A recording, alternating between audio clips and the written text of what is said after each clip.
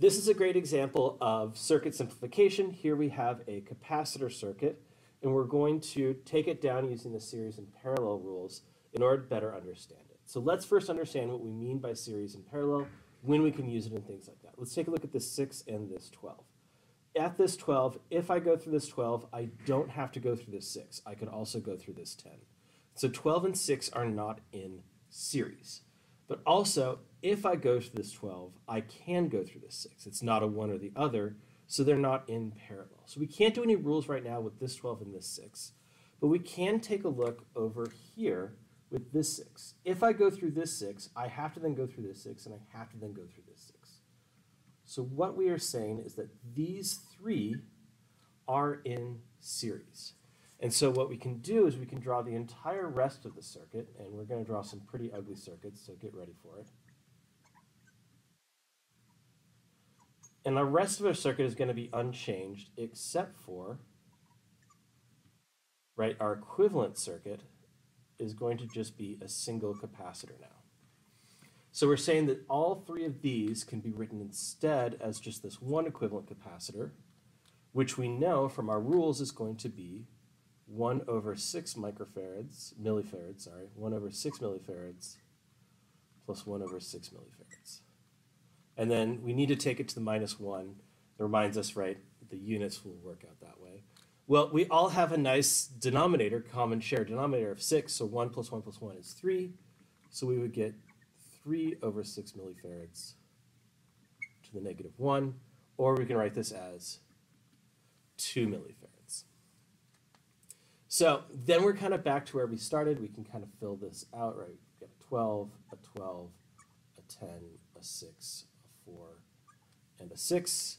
And we want to find out what's in series or what's in parallel simply with itself. Well, again, we have a lot, the 12 and the 6, for example, still aren't in series or in parallel because they have both options. But now we can look at these two. And these two, I can either go through the 4 or the 2. If I go through the 4, I exclude the 2. If I go through the 2, I exclude the 4. So these are in parallel. And so parallel adds simply, this is going to be a lot easier than the series one, 4 millifarads plus 2 millifarads. Well, that's pretty easy. That gets us 6 millifarads. And so we can choose to write, do the math first and then draw the circuit, do the circuit first and then draw, uh, do the math. So in this case, I've done the math first. And then when I redraw this circuit, right, it's going to get easier every single time, which is always nice. So, right, my 6 and my 12 up here are unchanged, my 12 and my 6 down here are unchanged, my 10 is unchanged. But now this, instead of being 2, is 6 millifarads. And we can kind of come back to what we did back here, and we can see that again that we have these three in series. So in fact, it's the exact same calculation, so I'm going to go a little bit faster with this one. Right, and then we get 2 millifarads. So redrawing this circuit, now we're getting in the home stretch a little bit.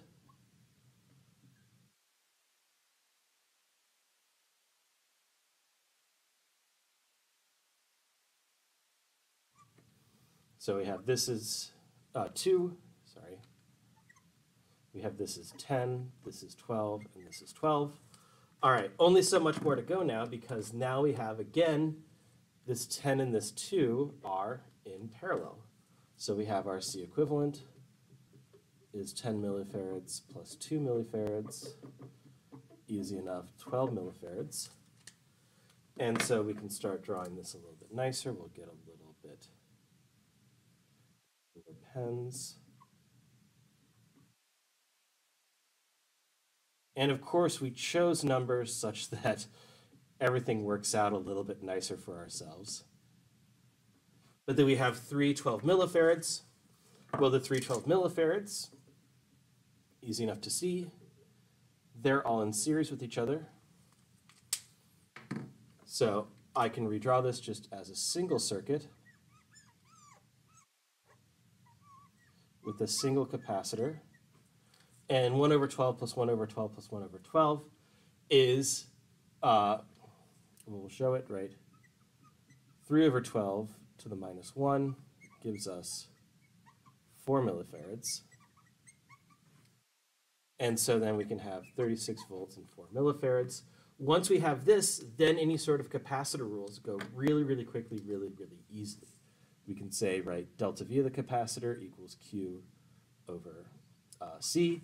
We know C of the entire thing is then 4, so we could right, find that the charge is going to be 4 times 36, which is 108. Or what we can do is we can also um, do other math once we have and then build back up with that. But this is just to show the uh, series and parallel rules, and we'll do more in later